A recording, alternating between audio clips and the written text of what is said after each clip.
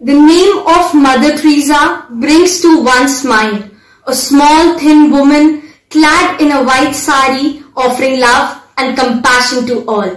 A winner of the Nobel Peace Prize, she humbly carried on her selfless work with devotion.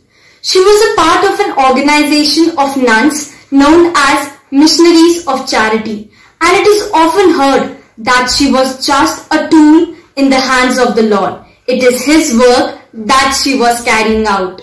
Recently being instated with the honor of sainthood, she is known worldwide for her kindness and generosity. She was born on 26th of August 1910 in Yugoslavia.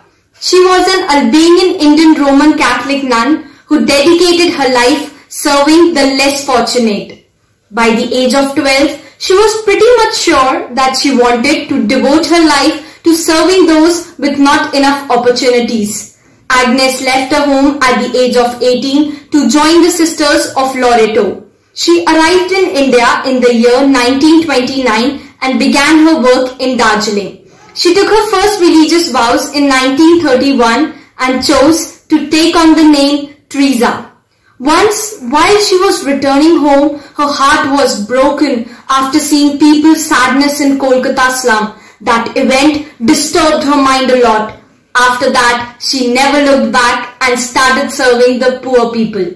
Soon, young girls joined her group which was later known as Missionaries of Charity. Their belief was, the more you give away, the more you receive. Mother Teresa an epitome of humanity, made various trips outside India for humanitarian reasons. At the height of the siege of Beirut, she rescued 37 children. She visited Armenia after the 1988 earthquake ban. Also assisted the hungry in Ethiopia. By 1996, she operated 517 missions in over 100 countries. She won the Nobel Peace Prize in 1979 and furthermore won the India's highest civilian award, the Bharat Ratna in 1980 for her compassionate work.